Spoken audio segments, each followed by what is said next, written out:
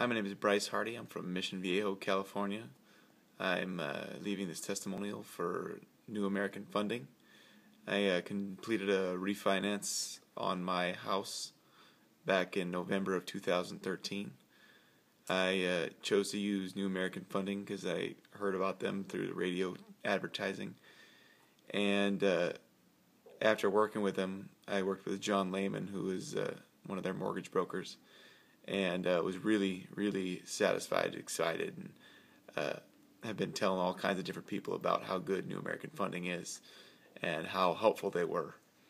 It uh, saved me about a hundred bucks on my mortgage every month, and uh, every time I ever had any kind of question for John, if I called him, he'd immediately answer the phone. If I emailed him, he would email me back that day. Uh, it's definitely impacted our life. It's saved us some money and uh, made it so that we are able to easier uh, afford our mortgage. And uh, I wanted to just leave this testimonial saying I really appreciate it and thank you very much, New American.